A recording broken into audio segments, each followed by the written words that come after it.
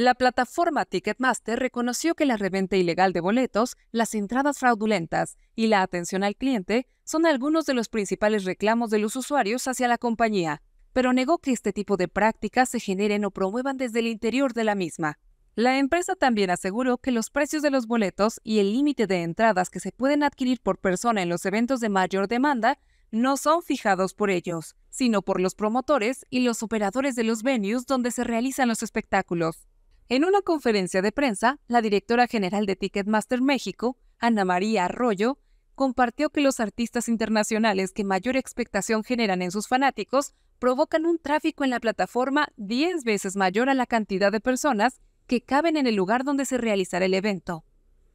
Como una estrategia para mejorar la experiencia de usuario e incluso para combatir la reventa y entradas falsas, la plataforma anunció que tendrá un nuevo boleto digital el cual ya está disponible para algunos eventos y algunas sedes, como la Arena Ciudad de México, el Teatro Telcel y el Teatro Metropolitan.